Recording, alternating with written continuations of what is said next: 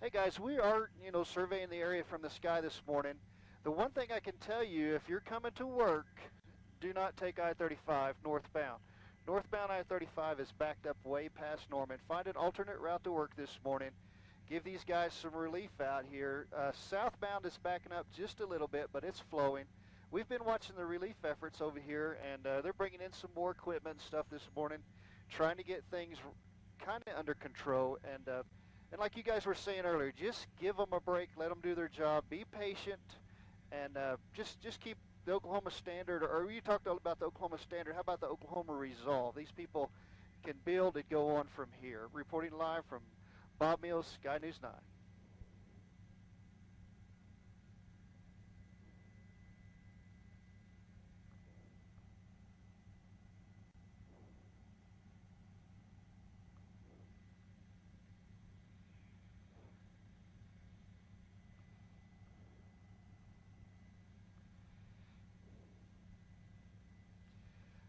It is quiet. We've seen that heavy equipment Rusty was talking about earlier that they were moving in, uh, but most of it's just uh, picking through the rubble, and there's no really a lot of movement anywhere.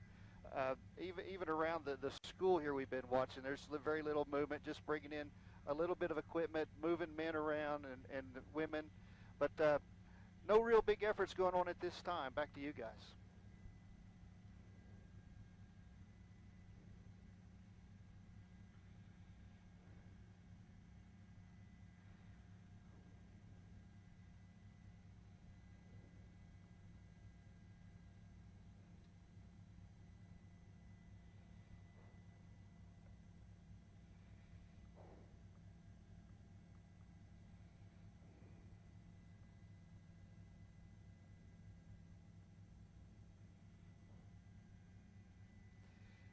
Yeah, Sunny Lane is blocked off. Looks like it's blocked off at, at 19th and 4th. I wouldn't take Sunny Lane, maybe hop over to Eastern. I-44 is flowing really, really smooth. Uh, I-35 is a no-go from uh, south southbound. I-35 is flowing real well. Northbound is backed up past Norman. But uh, pick another route besides Sunny Lane. Maybe even hop over to Sooner. That looks pretty clear.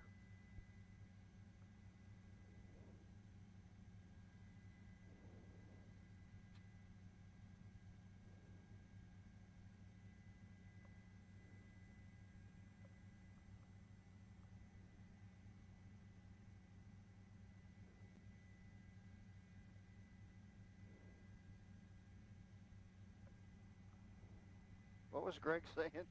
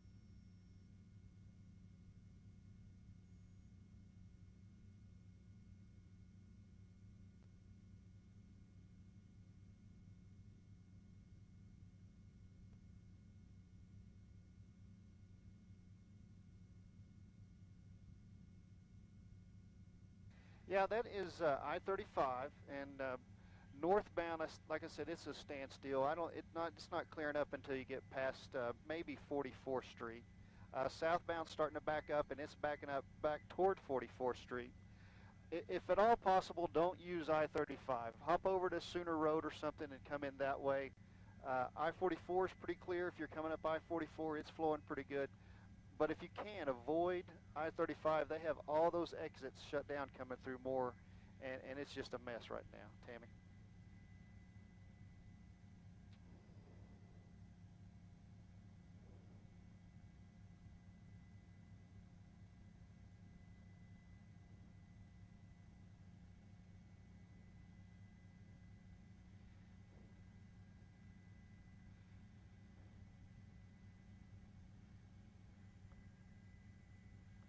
Uh, I've just seen Air One this morning. Uh, that's all I've seen as far as law enforcement and rescue efforts. They're the only ones out there this morning. They have us way up above everything.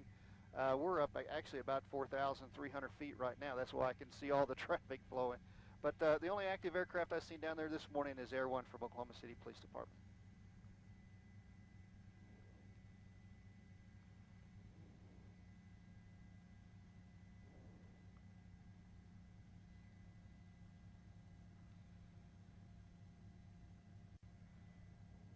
DJ has been picking up a real good picture from up here. The camera's working really well, and he can zoom right in, and we can see what's going on. And, and so far, I haven't seen any search dogs per se. They may have given them a rest. Those dogs get tired and wear out a little bit. They may let them rest a little bit and then get them going here in a little bit when the wind picks up. But uh, as far as search dogs, we haven't seen a whole lot of that going on either, Tammy.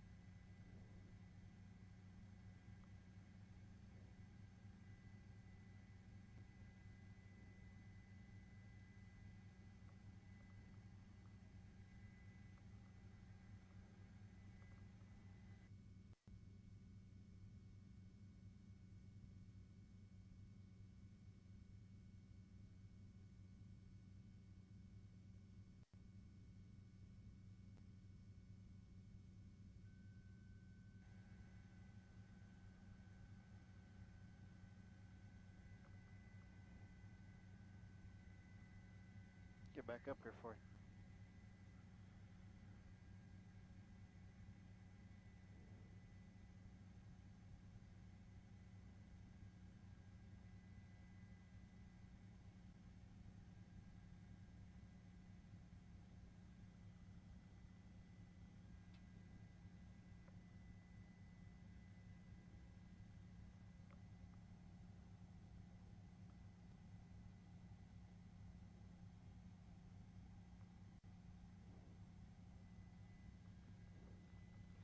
Yeah, Tammy, this thing, I can see all the way back uh, just to the north part of Newcastle where this thing sit down, and it run all the way across to uh, Draper Lake. It just ends right before that. And you can just see a, a, it's a mud trail, a swath, if you will, that just came through here, and uh, you, you, can just track it all the way back to north of uh, uh, Newcastle where it set down, Tammy, just south of the river.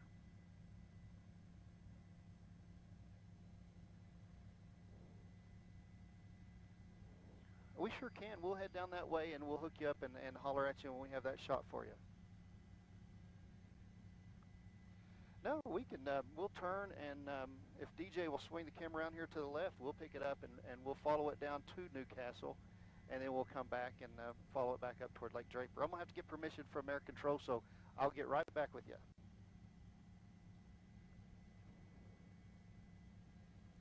DJ, if you go left, buddy, we'll get. Oak Sea Approach, News 9.